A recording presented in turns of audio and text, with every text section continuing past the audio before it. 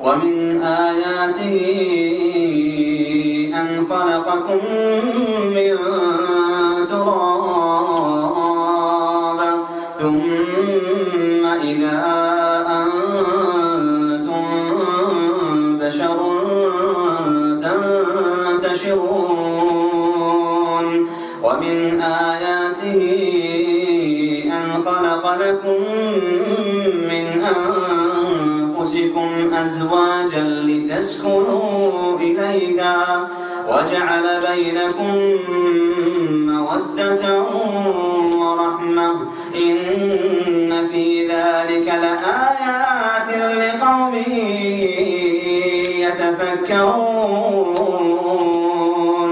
ومن آياته خلق السماوات واختلاف ألسنتكم وألوانكم إن في ذلك لآيات للعالمين ومن آياته منامكم بالليل والنهار وابتغاؤكم من فضله إن في ذلك لآيات لقوم يسمعون ومن آياته يريكم البرق خوفا وطمعا وينزل من السماء ماء فيحيي به الأرض بعد موتها.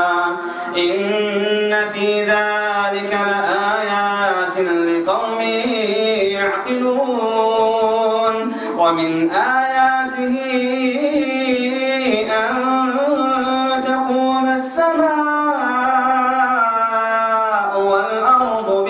بأمره ثم إذا دعاكم دعوة من الأرض إذا أنتم تخرجون.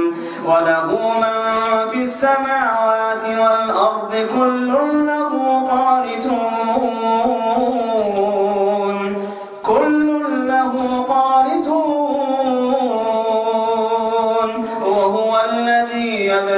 الخلق ثم يعيده وهو أهون عليه. وله المثل الأعلى في السماوات والأرض وهو العزيز الحكيم.